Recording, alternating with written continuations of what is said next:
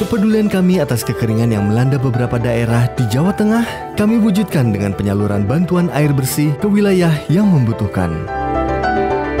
Sebagai perangkat desa mewakili dari warga kami mengucapkan banyak terima kasih kepada dua White Kopi yang sudah memberikan bantuan air secara cuma-cuma.